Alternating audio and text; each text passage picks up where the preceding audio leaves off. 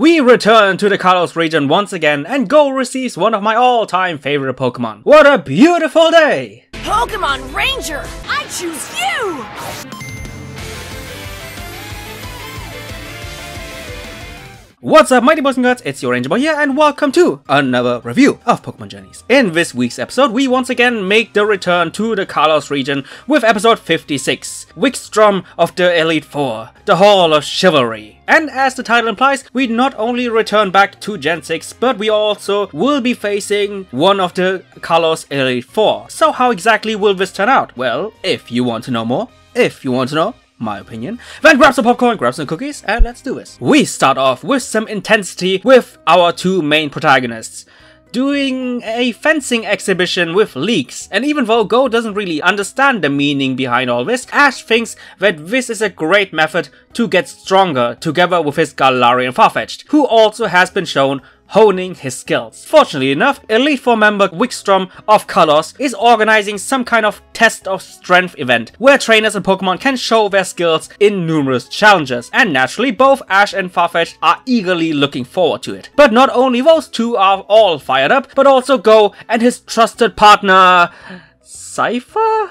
Uh, okay. Serious question here. When was the last time we actually saw this Pokemon? I honestly do not remember, and it seems like that even Go himself is self-aware about neglecting this Pokemon. So instead of Cinderace, he takes Scyther alongside with him. So off we go to the France-based region, and to be more specific, to the Castle of Chivalry, where Wikstrom has already been waiting for the participants to arrive, greeting them with a mix of intensity, which you naturally expect from one of the strongest trainers in Kalos, but also a surprising amount of slight slightly out of character cheesiness, with him almost crying every time he sees the potential of the boys. But now it's time for the test of chivalry, to earn the Knight medals, which consist of three tests. Test number 1. Our heroes running 10 laps around the castle while equipped with heavy armor, while also having to overcome the magnetic powers of Wikstrom's Probopass. Test number 2. Ash and Go having to find their way out of the maze, and while being trapped in the maze, both boys have been separated from each other. Although we see Go overcoming some obstacles we mostly concentrate on Ash and Farfetch, which ends up in Ash getting nuzzled by Dedenne. Man, seeing that Pokemon brings the feels. I miss Dedenne, and Bonnie and Clemont,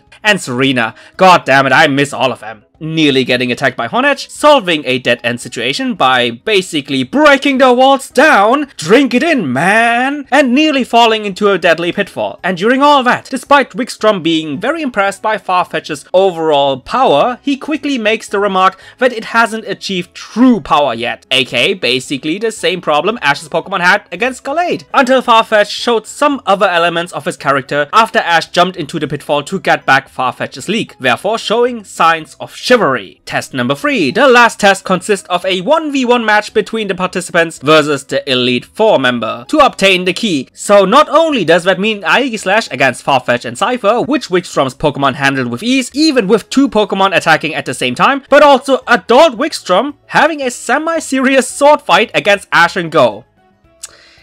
An adult having a sword fight with two little boys really doesn't sound right here. The solution? The usual but very effective splitting up tactic of Go going for the key while Ash's team is distracting the enemy. Throughout the battle we see a change in character within Farfetch because instead of focusing on defeating his enemy with pure strength alone, just like he usually does, he decides to protect Ash even after being injured. And after receiving such growth in character, he also learns Detect, which he uses to not only avoid Aegislash's attack, but also to land a critical blow to it. But before he can deliver another final final hit, the competition suddenly ends after Go retrieved the key. Our boys received the Medal of Knights for their hard work, and as an extra cherry on top, Wikstrom decides to trade Pokemon with Go so that Go can obtain my second favorite Pokemon of all time, Scizor. Awesome! So that's the end of the episode and without any more hesitation, let's go right to my ratings. And yes, I said ratings because I kinda feel like it. Anyway, what can I say about the story? In my opinion, this is a very clear-cut story which had a solid beginning, solid middle, and a solid end. aka Ash and friends going to Kalos to face the test that Wikstrom had to offer, then they overcome all these obstacles, and at the end of the day, everyone has gained something from this. Ash has gained a new move with Detect, Farfetch'd gained some more depth for his character, and Go gained a brand new Pokemon. Before I go to my nitpick, let's talk about the good things in this episode. Galarian Farfetch's overall development as a character. After just being showcased as this battle-hungry Pokemon who wants to overcome everything with brute strength alone, we slowly but surely saw a change within the Pokemon, which began during him and Ash getting trapped in the maze and ended up with him throwing all of his past priorities like battle and strength away and instead he tried to save Ash, showing a lot of courage and readiness to help others. And with that newfound characteristic, he found new ways of reaching new heights. Great storytelling from both sides. But as solid as Ash and Farfetch were, go side of the story, I will be honest, it was really not good. Sure, having a Scizor is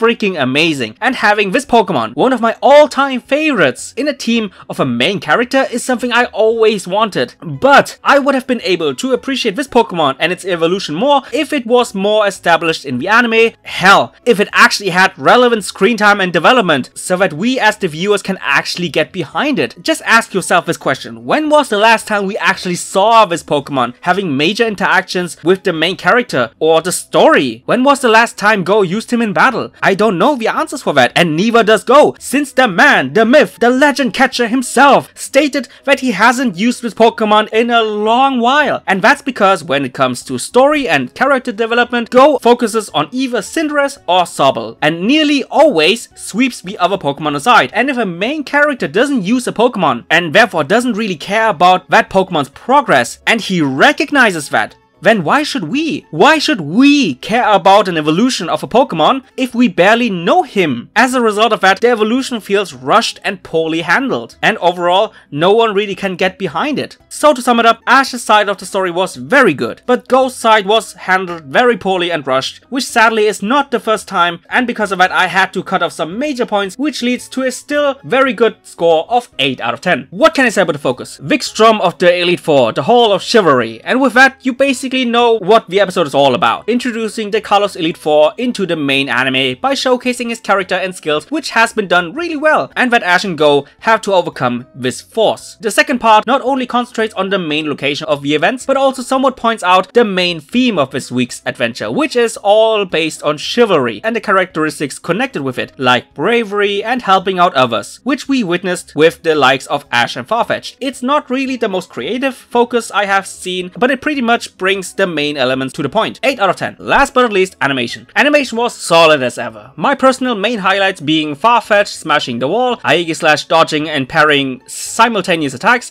and that one vital blow of Farfetch'd against Wikstrom's Pokemon. All done by long-time OG Pokemon animator and one of my favorites, Masaaki Iwane. The only other personal highlight of mine that I sadly couldn't find was the whole detect animation with the flashing eyes and the dodging movements. Done really well, but unfortunately I don't know who did that. But overall, great animations with no major flaws, 8 out of 10. So this episode scores a good score of 8 out of 10, with the recommendation to watch it, just for the Ash and Farfetch parts alone, even though all the go moments and especially everything in regards of Scyther really felt shoehorned and kinda added in the last second. Anyway guys, I really hope you enjoyed this review. What is your opinion? Tell me, and just like always, I see you guys in the comments down below.